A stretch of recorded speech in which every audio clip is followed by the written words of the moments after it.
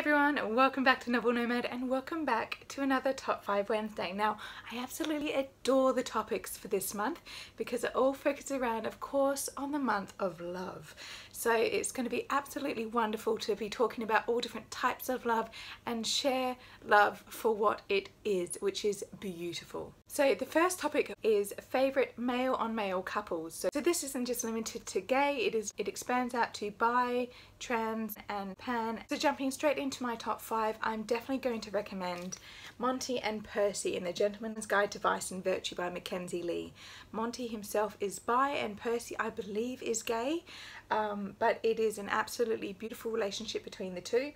Monty is quite wealthy, he's the son of a lord, and Percy is the almost illegitimate child of a neighbouring lord.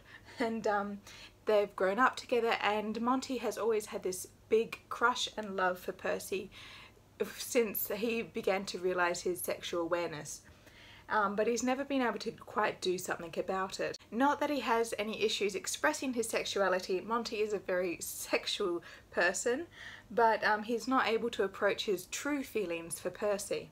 I think this is an absolutely wonderful relationship but it's also very authentic because the author herself, Mackenzie Lee, is bi so it gives a great authenticity to Monty's view and Monty's sexuality. Next I'm going to recommend is A Place Called Winter by Patrick Gale. This is a historical fiction where a man in the late Edwardian period in England um, who's married, he does everything right by his family, by the expectations of the time. He actually discovers that he is gay and he has a relationship with a man um, but unfortunately the man turns against him and threatens to blackmail him. And so he comes out to his wife and family and they shun him and send him off to Canada.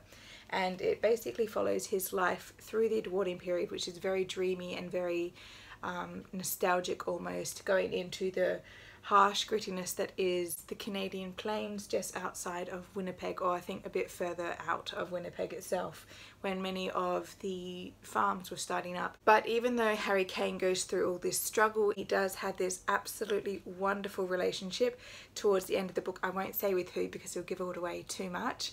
But um, it is a relationship that has to endure the hardship of rural living and very isolated living. So it is a very um, affirming relationship after everything that Harry has struggled through. My next recommendation is actually going to be Lola and the Boy Next Door. Whilst the main characters themselves are not gay, it is a male and female pairing in a relationship. I actually love Lola's dads, Nathan and Andy, because it is such a positive representation of a gay married couple who are raising a child, who are raising a daughter, and it is considered completely normal. There is no animosity, there is no difference from a male and female parents. They are exactly the same in their regard to their daughter, and I think it is absolutely amazing.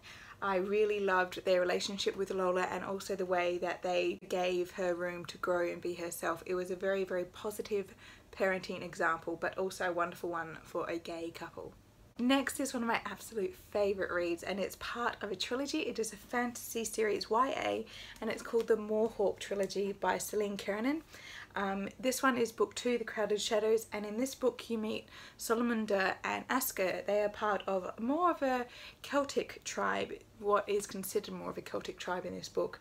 And um, they are gay and they're openly gay in a relationship, but it was just wonderful to have that relationship surrounded by a culture and a society which openly accepted that relationship and who they were. So that was absolutely fantastic to see a gay couple not pictured with the backdrop of um, persecution and denial but to see a gay couple openly living together and openly being accepted for who they are I thought it was absolutely beautiful they were by far one of my favourite couples in this entire series and I absolutely loved Solomunda. I think I I really had a deep connection with him. He was such a beautiful character, very haunted, very troubled.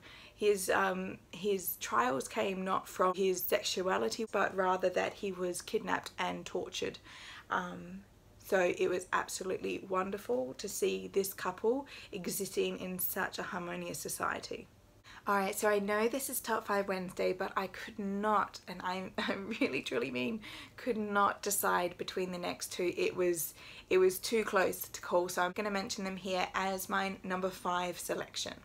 And the first one is going to definitely be An Unsuitable Heir by KJ Charles. It is the third in her Sin the City series and it is set in Victorian England, so obviously very, very strict um, views on gay relationships, but there's a little bit of an acceptance in an underclass. And Mark, who's one of the side characters of the first two books, he has his own story coming into this one, and he becomes very entangled in the heir to a great estate.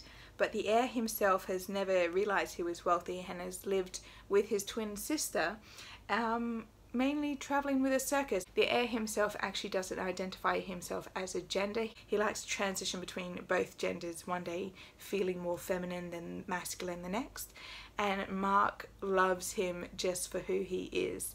Um, he still associates with the pronoun him, um, but I still think it is an absolutely fantastic representation of loving someone just for who they are and accepting their idea of themselves. So that was that by itself was a fantastic representation of a pansexual relationship. The other one is going to be a more recent read and that is Santino Hassel's Down by Contact. It is part of his Baron series which is NFL players who are actually gay. Um, most of, I think most of his characters that I've read so far are either bi or they are gay with a bi partner. This one is once again a gay and bi pairing and it is absolutely wonderful to see someone having more of a bi awakening, realizing their attraction to another gender but also it was such a uplifting relationship where these two people who were enemies as such and how they managed to come together. So I really love Santino Hassel. I know it's not common to read romances written by a man, but that one is definitely worth checking out and actually any Santino Hassel I would recommend. Alright thanks for watching another Top 5 Wednesday.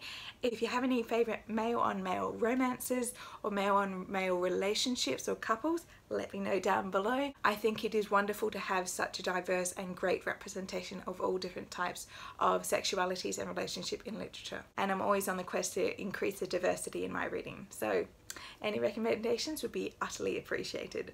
So thank you for watching. I'll see you all next time. Bye!